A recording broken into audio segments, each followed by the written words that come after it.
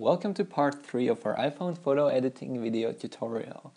In this part I'm going to show you two of perhaps the most important modules in Snapseed and those are the Tune Image and the Selective Adjust modules. Now before we can do this let's just open up another image and we'll see what we can do. And so I've picked this image, I'll select it, go ahead and use it and let's see what we can do here. Now, if you look at the image, really the thing that stands out the most about this image is the fountain. And you can see how sun is in fact shining through the water in the air, which makes this image so cool. So what we could do perhaps is we could make this essential detail of the image stand out even more, or we could perhaps somehow try to more emphasize the fact that there's sun actually shining through the fountain. So for that, what we can do is we can go to select selective adjust. And if we want to work with selective adjust, the first thing we want to do is go to the plus icon at the bottom and then select the point we want to work on or the part of the image we want to work on. And you can see as you move around your finger, you get this uh, you get this aim thing moving around. What you want to aim for is the color you want to work with. So in my case, I'm working with white fountain water, so I'll select this color. And now, what you can also do is you can use two fingers to really change how big of an area you're going to affect. So if I make this bigger, I'm affecting essentially all the whites in the image at once, but that's not exactly my goal. I, want, I just want to work with the fountain, with the water, not with the sky. So I'll make it small and I'll change it to something like this so that all the fountain is in but not the clouds. Okay, once we have that, we can once again work our way vertically through the menu and we can change brightness, contrast and saturation. So, if I want to emphasize this part of the image, it's probably a good idea to start by increasing contrast. So we'll do that. And to increase contrast, we just swipe uh, horizontally across the uh, screen. And here you can see that just by increasing contrast a tiny bit up to 40, we can make this image already more interesting and the fountain more look more dramatic. So if you click on this eye icon at the bottom, uh, then the blue dot disappears and you really see what you're working on. And here again on the top right corner, you can compare the before and after effect. So, so this is what we have now. This, uh, this is what we started with. As you see now, the image looks already a bit more dramatic. Okay, so now once we have that, we can once again select the blue dot. We can also adjust the saturation. And now, as I said before, we really have sun shining through the fountain.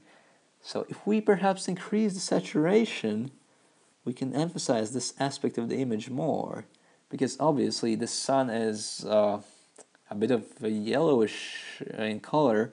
And if we if we make this fountain more yellow we really emphasize more the fact that there's sun in the fountain. So that's a cool thing to do. And finally we can do brightness and we can just increase it a bit. Not too much because if we increase it too much you see we get areas blown out and that's never a good thing. But if we increase it a bit just up to something like 10 I think we get the best effect. Yep that's what I'm going looking for. So what we can do now is just save changes. The image is processing and we have this. Now next if we want to make this image even better I would go to tune image module and unlike selective adjust, in which we just changed one part of the photo, in tune image we're going to look, uh, work on everything at once. So let's see how that happens. And tune image is really simple, but at the same time it's probably the most powerful module there is in Snapseed. It's really what I use most often, and you should be doing the same.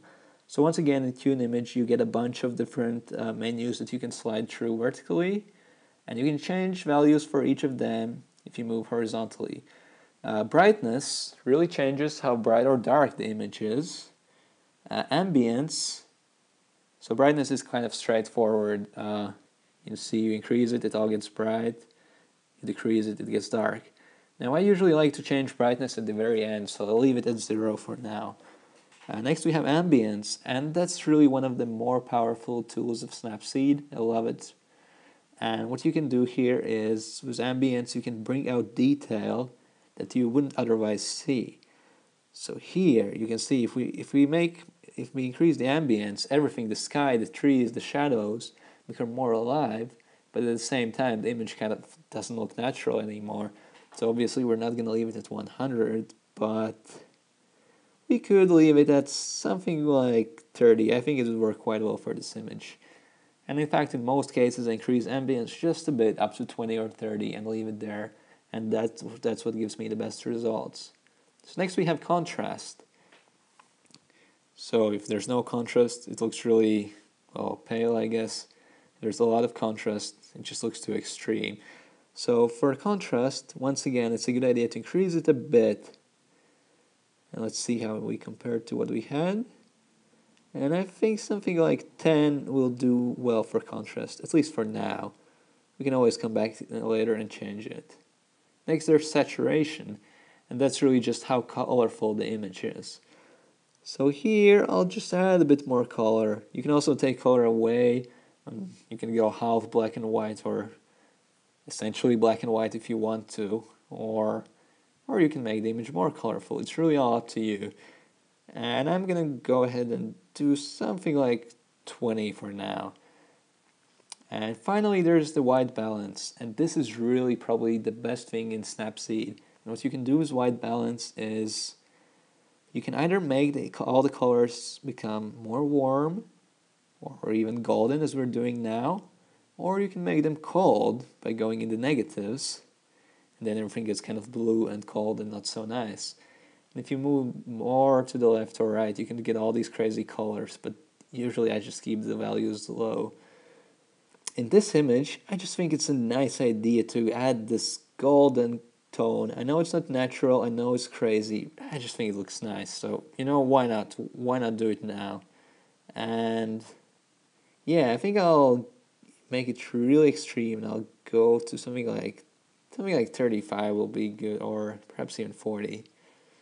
Now that I have this, I said I would come back to brightness later. So let's just do it now.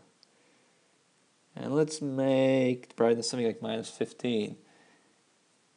Now, this is quite crazy already, and I think I'll, I'm even going to make the saturation a bit smaller. And what I'm doing here is, by taking away saturation, I'm really taking the blues and the greens out of the image, and then the image can look even more golden. In fact, I'll make it look something like this. Now, this doesn't really look natural, but it certainly looks like a beautiful evening scene, and I like it for that. So I'm going to go ahead and save changes. Now with Tune Image, there's no one right or wrong way to do this.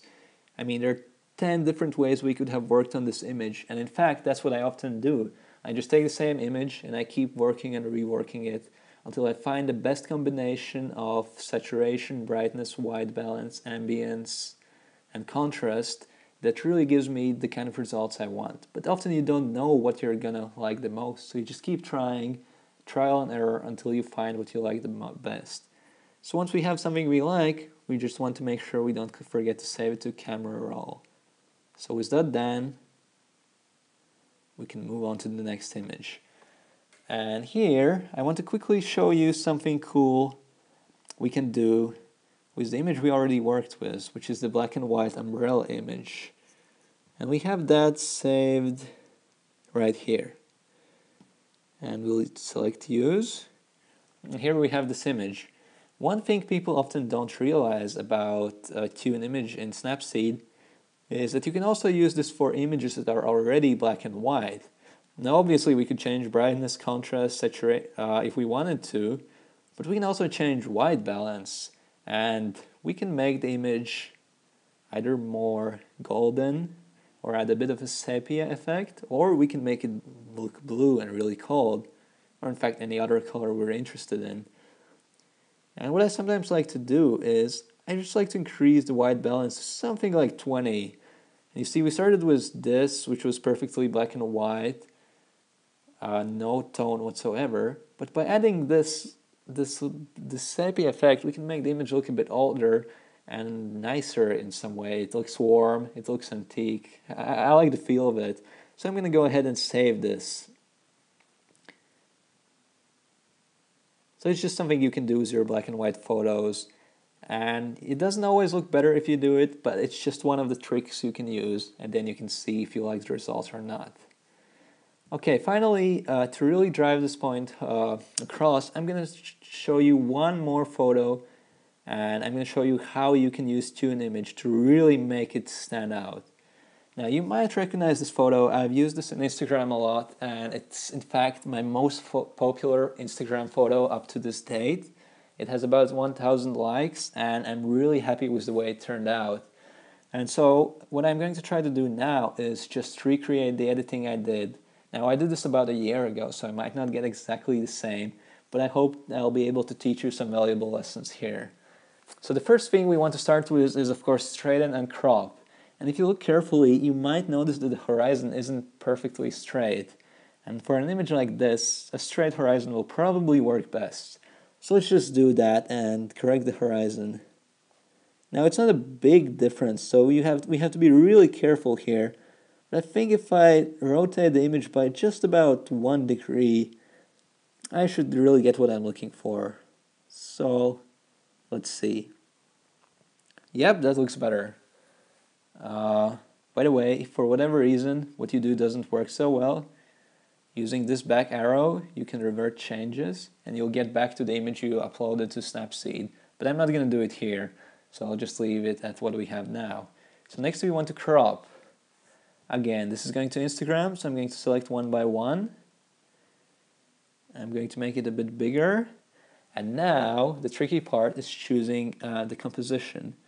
Now this is a bit tricky because here at the bottom I have this fantastic shadow of the bicycle, which is really, really nice here at the top I have sky and sky that night was just spectacular. So it's really hard to get both and I have to make some compromise here.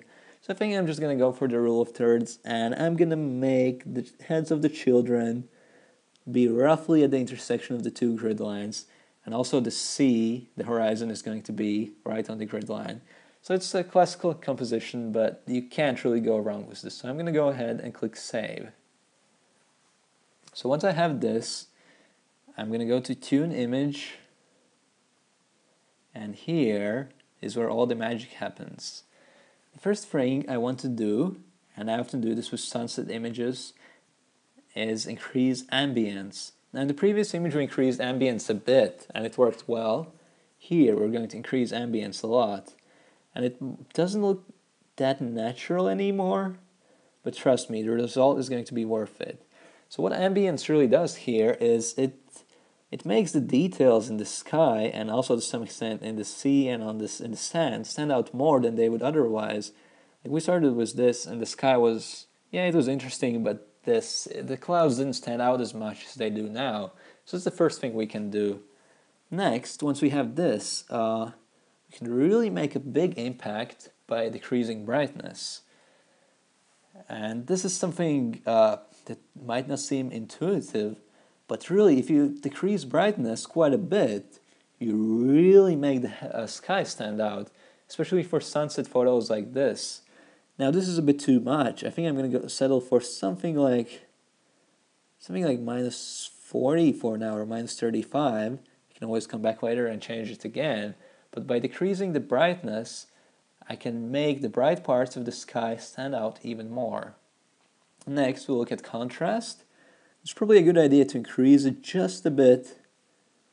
Yep, and what this does is it makes the it makes it increases the contrast between the silhouette and the surrounding areas. And it also makes the shadow on the beach stand out more. So I think I'll leave it at something like 12. And the one last thing we can do here is we can look at the white balance. And you know, you can go all the way to golden if you feel like it, but honestly, I want to keep the sky blue in this photo because I think it's just so much more natural. So I'm going to increase uh, white balance, but I'm not going to go too high on it.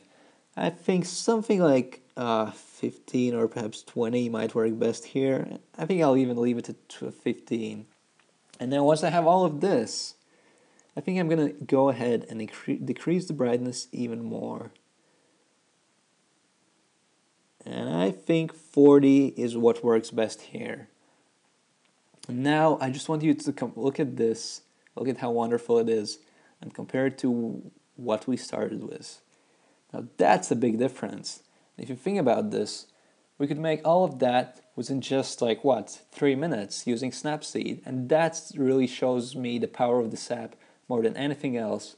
So I'm gonna go ahead, save this photo, save it to camera roll, and upload it to Instagram if I hadn't already. Okay, thanks for watching and I'll see you in the next part of our iPhone photo editing video tutorial.